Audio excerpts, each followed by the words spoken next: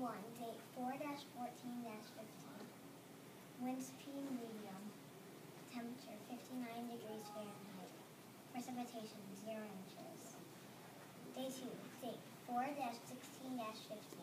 Wind speed slow. Temperature 60 degrees Fahrenheit.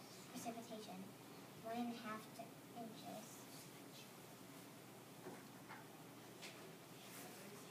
Day 3,